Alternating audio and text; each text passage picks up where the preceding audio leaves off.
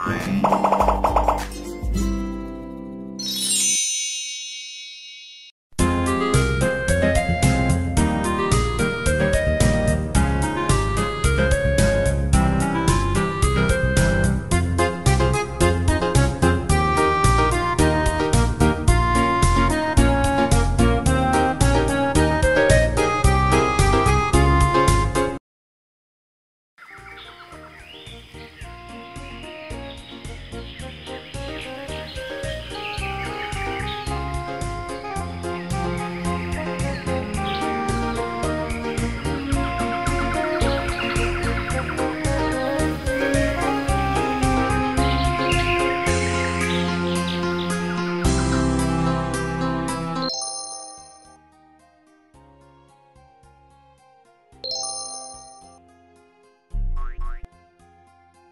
أهلا أهلا.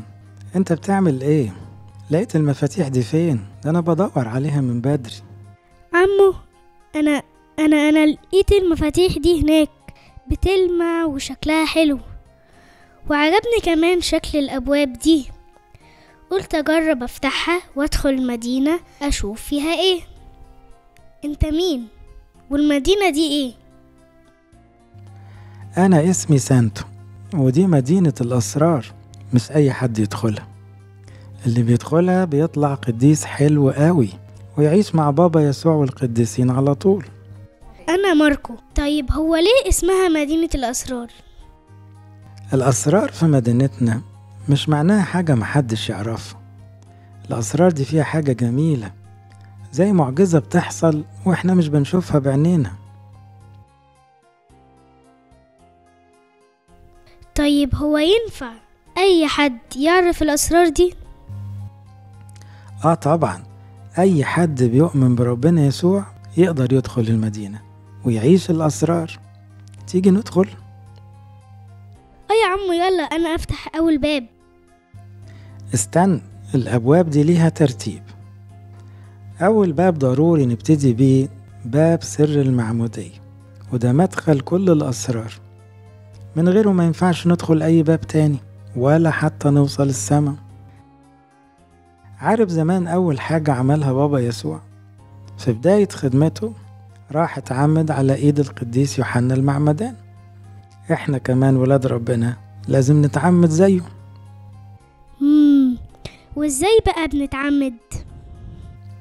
بعد النونو ما بيتولد بأربعين يوم أو تمانين يوم لو بنت. بابا ومامته بياخدوه الكنيسة أبونا بيحط الصليب على رأس مامته علشان تقدر تتناول ويصلي لها عشان ربنا يسامحها ويدهنها بزيت اسمه الزيت البسيط. بعد كده يحط الصليب على رأس النونو عشان ربنا يحميه من الشيطان. بعد كده الإشبين يلف ناحية الغرب عشان يصلي صلاة اسمها جحد الشيطان. أيها الشيطان وكل أعمالك النجسة وكل جنودك الشريرة وكل شياطينك الرديئة وكل قوتك وكل عبادتك المرذولة وكل حيلك الرديئة يعني إيه إشبين؟ الإشبين هو الشخص اللي هيبقى مسؤول عن النونو مامته أو بابا هو اللي هيعلمه الحاجات الحلوة هو اللي هيحفظه الآيات والتراتيل هو اللي هيخليه يحب ربنا والكنيسة على طول. النونو بقى بيتعمد على إيمان الإشبين عشان هو صغير ومش فاهم حاجة. والإشبين هنا بيصلي صلاة جحد الشيطان. يعني كل الناس اللي واقفين ممكن يقولوا معاه أجحدك أيها الشيطان. يعني أنا برفضك ومش عاوز أبقى تبعك يا شيطان أبدا.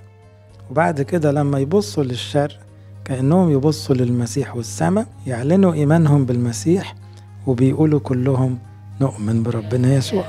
أؤمن بإله واحد الله الآب ضابط الكل وابنه الوحيد يسوع المسيح ربنا والروح القدس. هو أبونا بيعمل إيه هنا يا عمو؟ أبونا بيصلي على جرن المعمودية صلوات كتيرة عشان تتقدس يعني ده قداس كامل للمية. وكمان بنحط جوه المية زيت الميرون فيبقى الروح القدس كمان في المية. بعد كده أبونا ياخد النونو ويغطسه في جرن المعمودية ثلاث مرات. زي ما بابا يسوع قال عمدوهم باسم الآب والابن والروح القدس. ولما بيطلعوا من المية بيرشموا بزيت الميرون في كل حتة في جسمه 36 رشوة. كده خلاص يا عمو. لا لا لا يا ابني ده أبونا لسه لازم يلبسه لبس أبيض جميل عشان بقى يبقى شكله حلو قوي ويبقى الناس عارفة إنه بقى زي الملاك مفهوش ولا خطية ولا حتى الخطية اللي خدها من أبونا آدم. وأبونا يحط الشريطة الأحمر اللي اسمها الزنار عشان يفكرنا إنه اللبس الحلو ده كان أساسه دم بابا يسوع. طبعا النونو بعد ده كله لازم ينام. دلوقتي بقى النونو بقى خلاص مسيحي وابن ربنا فينفع يتناول. وبعد المعمودية يدخلوا القداس ويتناولوا. وفي آخر القداس كل الناس فرحانة قوي لأن النونو ده بقى ابن ربنا. نعمل له زفة ونلف بيه في الكنيسة ونقول له أنت أكسيوس يعني قديس أو أنت أكسية يعني أنت قديسة عشان بقيتوا ولاد ربنا. طب أنا عندي سؤال يا عم سانتو. مش في قديسين ما تعمدوش. إزاي دخلوا السما؟ ده سؤال حلو قوي هما فعلا ما تعمدوش زينا بس آمنوا بالسيد المسيح وتعمدوا معمودية بنسميها معمودية الدم.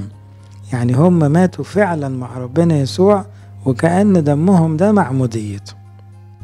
طيب مش هتقولي بقى يعني إيه سر الإفخارستية والميرون؟